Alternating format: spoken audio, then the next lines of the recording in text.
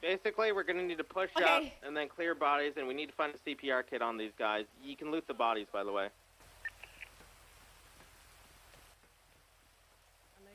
Hey yo! Here I come! They're directly at the top, are they? What is the security Yep, key? they're gonna be directly up there. I'm reloading. Immediately! Goes down. Why is there so many?